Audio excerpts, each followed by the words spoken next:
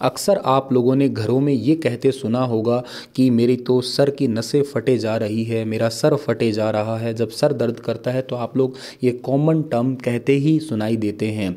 लेकिन एक्चुअली ये साइंटिफिक या टेक्निकल टर्म में इसे क्या कहते हो?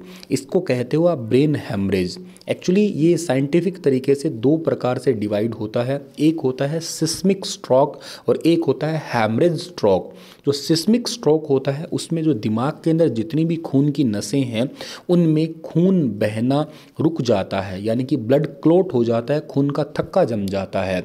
और दूसरा होता है हैमरेज स्ट्रोक जिसमें खून जो है वो नसों से बाहर निकल जाता है, जिसमें आप कहते हैं कि नसें फट गई हो, यूँ प्रकार से कह सकते हैं। इस कंडीशन में जनरली किसी पर्सन को अगर ये हो तो उसको लकवा, यानी कि पैरालिसिस जैसी कंडीशन जो है उसके अंदर आती है बॉडी के अंदर यही चेंज आते हैं।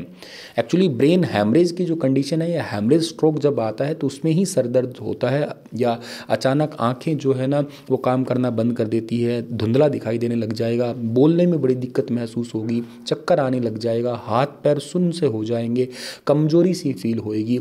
ये ब्रेन हैमरेज का एक लक्षण होता है इसमें रक्त स्त्राव होने लग जाता है। इसी को आप लोग प्रॉपर ब्रेन हैमरेज के नाम से जाना करते हैं। ठीक है दोस्तों?